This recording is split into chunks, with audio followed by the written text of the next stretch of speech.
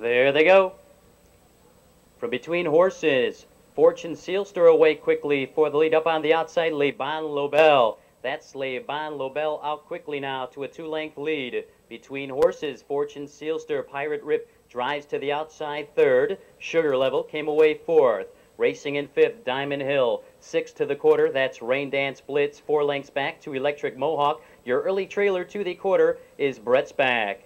Approaching the opening quarter, Leban Lobel takes him by the quarter, 27 and 2. Pirate Rip Park second. Fortune Seelster right there in third. Sugar Level racing in fourth. Two lengths back, Diamond Hill in fifth. A gap of four to Rain Dance Blitz. Brett's back is on the move at the end. That's Electric Mohawk.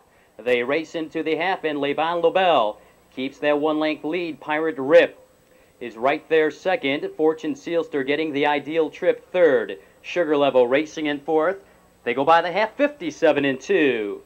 Le Bon Lobel now opens up by two. Fortune Seelster right there in second. Pirate Rip drops back third. Sugar Level saves ground fourth. Brett's back has no cover fifth. Diamond Hill alongside sixth. In seventh, that's Electric Mohawk. Now at the end, that's Rain Dance Blitz. They race into the three quarters. Leban Lobel opens up by two and a quarter. Fortune Seelster getting the trip second. Sugar Level racing third. Diamond Hill finds racing room in fourth. Pirate Rip drops back. They go by the three quarters, 127 flat. Final quarter of a mile. Leban Lobel a length. Fortune Seelster right on his back second. Racing in third. That's Sugar Level to the outside. Diamond Hill comes on.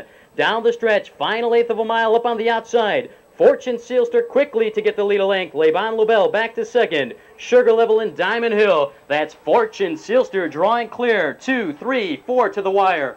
Fortune Seelster in front. Le Bon Lobel second. Close for third.